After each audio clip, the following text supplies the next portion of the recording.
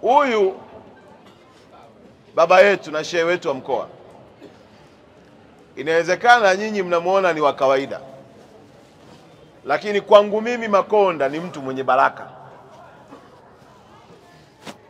na kwa imani yangu viongozi kama hawa wakikunenea mema, mambo yako yanafanya nini? Alikuja siku moja pale ofisini, alivyokuja pale, tulivyomaliza kuondoka, katibu alikuwepo.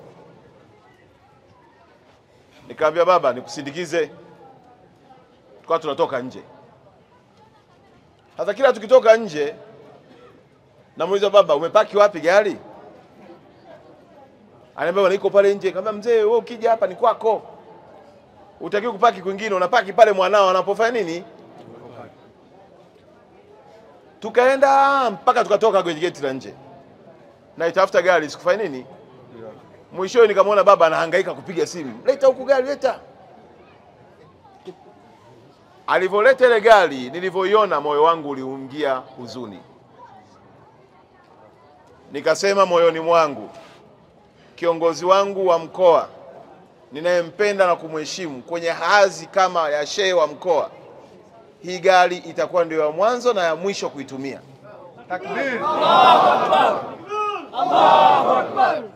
Nikasema kwa kuwa mimi sina pesa, lakini ninaye Mungu anayeweza kuniwezesha nikaitumia hii nafasi nilionayo, nikapiga simu mahala. Mnajua nilipiga simu wapi? Nikampigia simu Daktari Samia Suluhu Hassan, nikamwambia amekuja shehe wangu wa mkoa. Moyo wangu umehuzunika. Vikija vikao vya viongozi wa dini wakija hapa, wanapanga magari yao makubwa makubwa, shehe wangu wa mkoa anakuwa mnyonge. Mi sikubali mama awe mnyonge mkoani kwangu. Mheshimiwa Rais Daktari Samia akasema hivi, viongozi wa dini, wewe mtoto nawapenda eh?